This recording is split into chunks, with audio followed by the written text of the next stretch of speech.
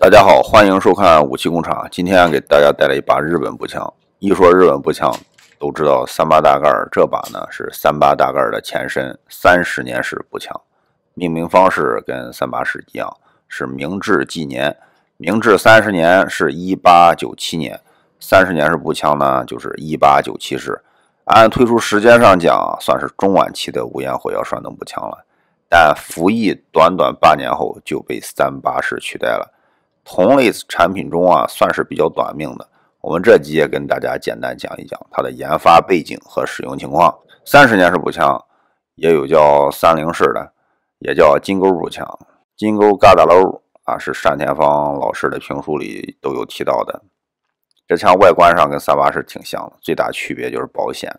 三零式保险是钩子状的，后拉顺时针转九十度啊，就是上了保险。之所以叫金钩啊，网上的说法是这钩子保险是铜做的，金色儿啊。大家鉴定一下，我是不是色盲啊？这钩明显不是金色儿啊，钢的哪是什么铜合金？这钩子是个成立件，用黄铜做不合适。网上我也查了不少三零式步枪的照片，就没有见到一支是金钩的。真的黄铜件它是不变色的。这支法国的 Gra 气枪岁数比三零式更大，人家上面的黄铜件一百五十年后也不变色的。金钩步枪其实名不副实啊。各位要是真有见到金钩的，记得发张照片啊。日本明治维新后啊，进口了杂七杂八很多步枪，跟清朝时候的中国差不多。但是明治政府在巩固政权不久啊，就开始着手统一步枪，并且谋求自产。一八七一年创立了东京炮兵工厂。一八八零年啊，推出了第一款国产制式步枪村田十三式，设计师村田经方主要参考了法国的 Gra 步枪啊，口径呢也是中规中矩的十一毫米，是当时典型的黑火药金属定装弹栓动步枪。欧洲一线国家都是一八七几年开始装备，日本呢并没有太落后。一八八五年，日军开始装备改进型的村田十八式，据说是有限程度的改进，跟十三式啊是同样的弹药。部队呢是两种步枪混装的。一八九四年到九五年的中日甲午战争啊，日本陆军用村田枪横扫装备杂牌枪的清军。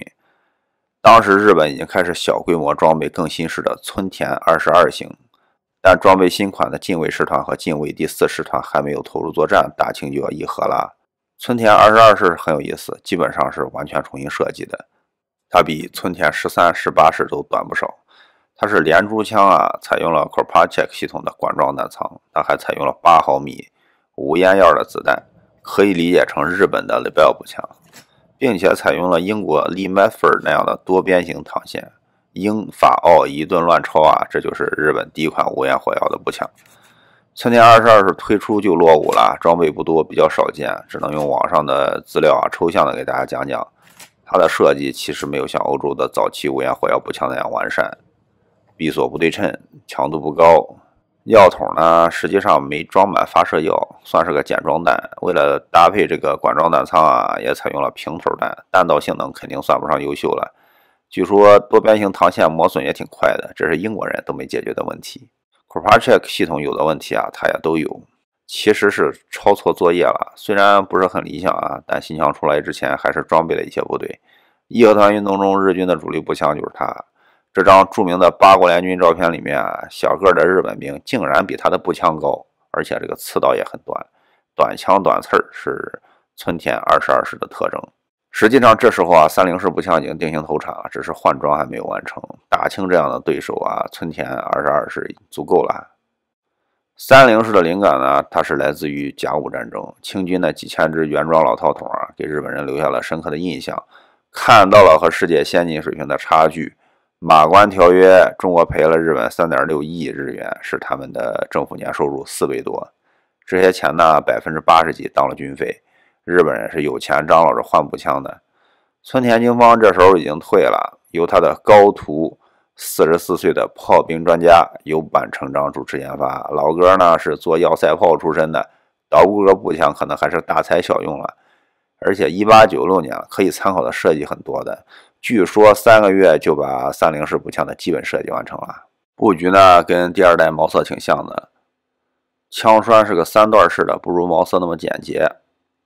说是借鉴了荷兰曼利夏。保险其实有点像这瑞士的 Schmidt Ruben，瑞士枪的保险它是个钥匙环，不是钩，操作方式倒是一样的，也是转九十度。日本人对第一代八毫米无烟火药弹不是很满意啊，改成了六点五乘以五十毫米。这个小口径圆头弹不仅后坐小，初速和射击精度都有了大的提高，还节省材料和重量，日本人还是比较满意的。七年内完成了对一线部队的全面换装，正好赶上了1904到1905年的日俄战争啊。陆战基本上就是日本的三零式对莫辛纳甘九一型。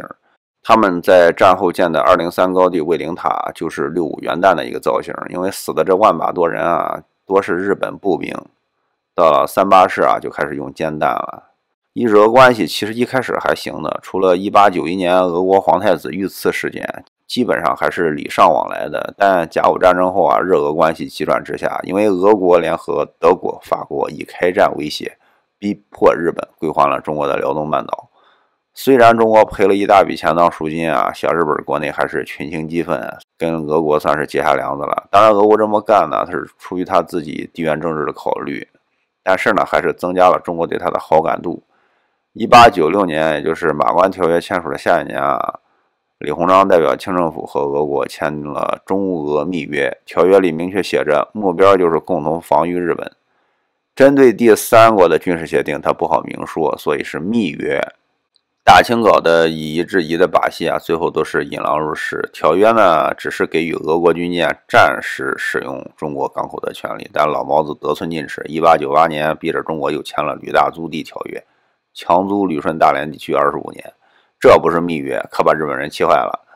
一九零零年义和团运动的时候，俄国更是以护路为由啊，大举进入东北。义和团被镇压几年之后，东北境内还有十万俄军，完全没有走的意思。而且哥萨克伪装的伐木工啊，也出现了在吉亚鲁江边上，让控制朝鲜的日本坐立不安，感受到俄国深深的恶意啊。日本人都觉得日俄必有一战。开始积极备战。一九零二年，日军在严寒地带东训的一支部队啊，两百一十人里面给冻死了一百九十九个，史称“八甲田雪中行军遭难事件”。舆论大哗，民间呢也都理解这是对俄战争准备。日本人冬练三九啊，俄国人心态倒是很放松，他们笑话日本人不会打仗啊，竟然训练什么散兵线战术。你看我们俄国人只练集群射击，实战训练都不带打靶的。大致方向对了就行了。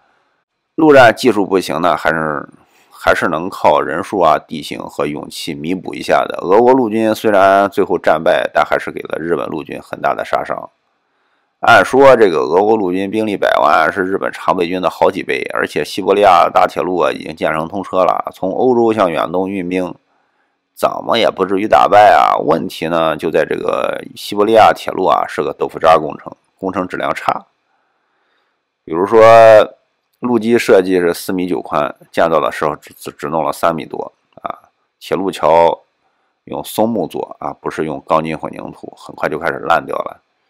各种幺蛾子啊！其实最要命的是两点：第一，它是单轨铁路，同一时间只能跑一个方向，不能双向对行。东向列车跑的时候啊，西向列车只能一边干等着，一天跑不了几班车。第二呢是环贝加尔湖那段，当时并没有完成啊。那一带山多，要么打洞，要么爬坡，铁路是不好修的。有的险峻地段，火车只能走个驴车的速度。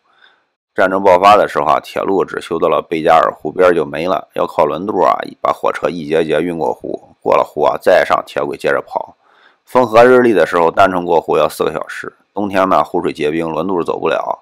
俄国人试图在这个冰上架铁路，但冰面并不能承受火车头的重量，最后是马拉火车，这运力还不如船运呢。俄国的这些软肋，日本人清楚的很，所以开战的时候专门挑一冬天，正好是西伯利亚铁路运力最低的时候。俄国人兵多，但百分之九十都在欧洲，一时运不过来，路上打的比较被动啊。除了路上、海上啊，日本人还开辟了第三战场，派了一个叫明石元二郎的。去欧洲策动俄国内部革命，明石大佐啊，当时约见了流亡西欧的俄罗斯内部意见人士啊，包括列宁同志啊、普拉哈诺夫等等。俄罗斯帝国旗下小国很多啊，他们的独立派也都来聊聊，是吧？有芬兰的，有波兰的，波罗的海三国的，明时组织开会啊，日本政府出钱出枪给这个沙皇上眼药。俄国陆战到最后啊是可以一搏的，当时那日本兵也快打光了，国库也空了，说不定可以翻盘的。那就是国内革命闹太凶了，沙皇他亲老叔都被革命党丢的炸弹给炸回了零件状态了。尼古拉斯二世没心思战斗下去了，是草草的讲和了事啊。日本俄国在东北互掐呢，清朝是个啥态度呢？两害相权取其轻，这次希望日本赢了，因为这个俄国在东北横行霸道。把干预还辽的好感度早就消费光了。当时掌权的袁世凯是和日本秘密合作，刺探俄国情报，提供给养，治疗伤病。北洋军呢还抽调一些骨干和日军组成中日混合侦察谍报队啊，阵前或者敌后侦察。反正俄国人看不出中国人还是日本人。当年三十岁的吴佩孚啊，就是其中的一员。他被俄军逮捕，判处死刑。好在人比较机灵，逃跑掉了。因为跟日本有这层关系啊，一九三七年日军全面侵华以后啊，还想请老吴出山来着，还好他很快就死了，没有晚节不保啊。其实这个日清的军事合作在日俄战争之前就已经开始了，甲午战争后啊，大清举国震动，觉得还是要虚心的向日本人学习啊。一开始这个新建陆军里德国教官比较多，但后来随着德国强租胶州湾，引发了义和团运动，严重伤害了中国人民的感情啊。德国教官就开始吃瘪了，北洋军里的日本教官就出现了。日本教官工资低，像这青木宣纯啊、板西利八郎这样的中国通啊，他不光能讲官话，还能说方言，好交流的。一九零一年起，日本也开始成批接纳中国军校生，头七年去了一千多人。日本在清朝军界的影响稳步增加。一九零三年，清军开始大规模采购日械。第一笔就是一万四千多支的三零式步枪和气枪，袁大头觉得不错的，弓箭道近，价值较廉，性价比好啊，以后不断的购入，以至于清朝灭亡的时候，北洋六镇中啊，已经有四镇用的是三零式步枪，这时候啊，已经进口了超过十万支的三零式，装备六镇那是绰绰有余，地方部队也是买了些的。有专门出口中国做的三零式啊，他把天皇的菊花纹换成了大清的团龙纹，有几批还根据中方的要求啊，把标尺从立式换成毛色那种卧式标尺。除了枪械啊，北洋军单兵装具啊、瓦具什么的也是从日本采购。其实中国的日械师是远远早在德械师、美械师之前的，对三零式步枪不算陌生了。一九零六年末啊，东京炮兵工厂小冲制作所所长南部七次郎来华考察，并推销日本军火。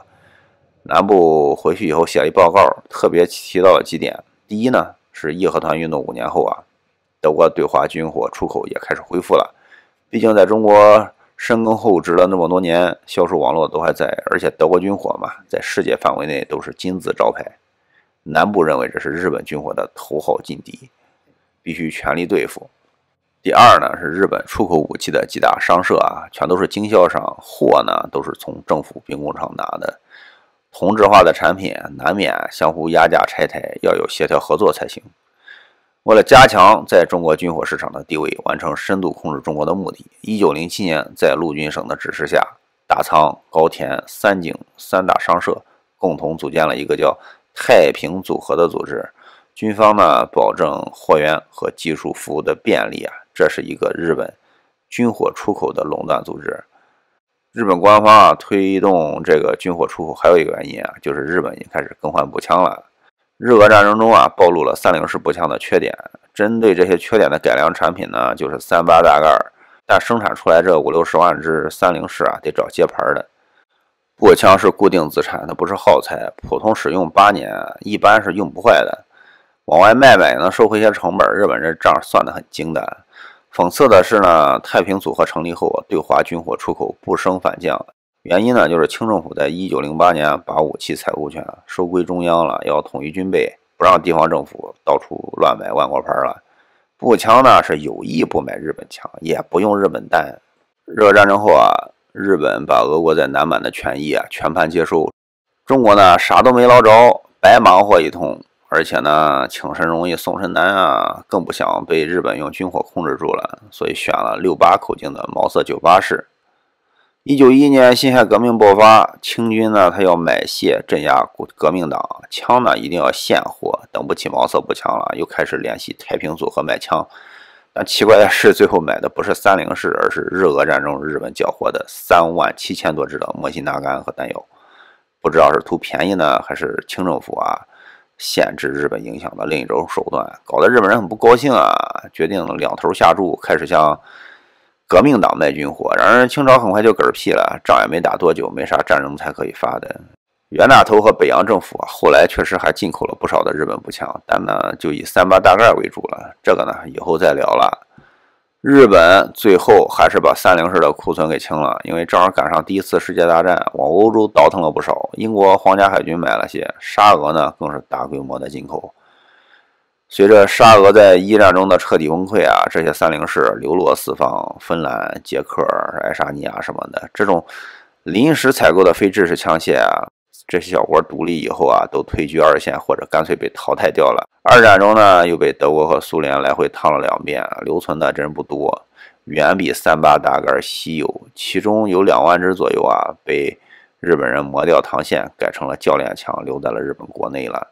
只能打打空包弹，是一个中学生军训用的。我的这把呢，就是通过这种渠道保存下来。其实吧，打空包弹不需要把膛线磨掉的，真正的目的呢，是去掉打实弹的能力，把这枪给阉了。毕竟流入社会、功能健全的枪被学生拿去搞运动啊，或者是抢银行，都是不好的。机匣上原来的菊花纹和三十年式的铭文啊被抹掉，刻上了空放冲。枪栓释放钮和击针母也都被涂上了红漆啊，这也是提醒使用者啊这把枪的特殊用途。这个序列号数不大，制造年份呢应该是比较早的，大概率是参加过日俄战争。后面还有个川村两个字儿，应该是工厂军代表的名字，没有进口戳，是驻日美军啊当纪念品拿回来的。就日本啊，他对学生军训是非常重视的，初中扛得动枪就开始了，一周四小时，男生都得参加。人家这个学生军训啊，跟咱不一样。中国基本上就是纯队列训练，不管是民国时期啊，还是人民共和国时期啊，都是这路数。披着军训的外皮，搞的是一个大型团体操表演。旧日本的学生军训，它是教很多实战技能的。我这里有本《一九二五年学生军训手册》，里面的内容包括轻武器使用、射击训练、战斗序列。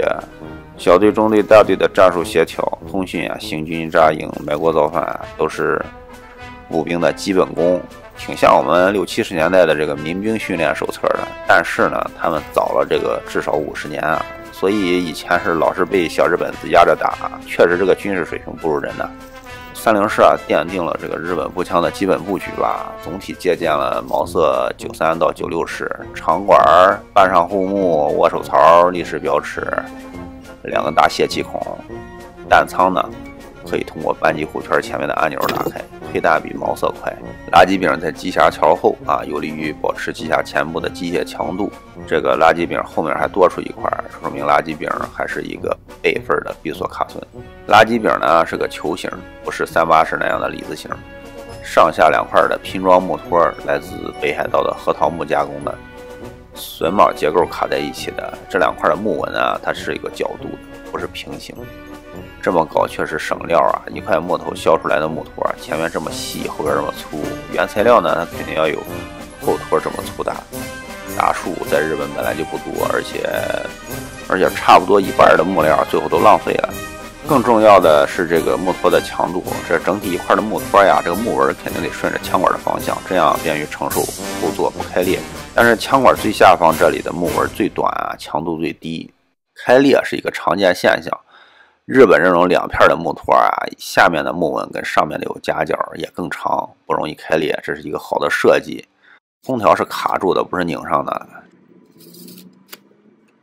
这个刺刀座呢，在前箍下边。